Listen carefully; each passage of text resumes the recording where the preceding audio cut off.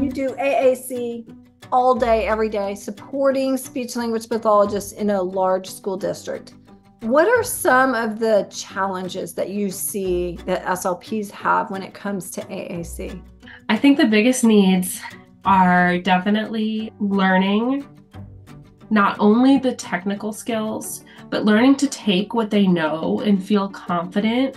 um, in that they do know how to do language intervention, but how to take that and integrate it with this new thing that's scary and there are a few extra steps involved but really taking and channeling their own strengths into um, executing a high quality therapeutic experience for the child. So the confidence thing is one and then i would say the next biggest piece is that collaboration piece and that's really getting things like parent engagement um, and responding to such a we have a huge diverse student population and just kind of meeting each parent where they're at and understanding and taking the time to get to know what that family values and helping them um, achieve authentic communication for for them and their household. And then the same thing with teachers right? We've got teachers from all over the world who have different attitudes have different trainings. Some of them have been trained with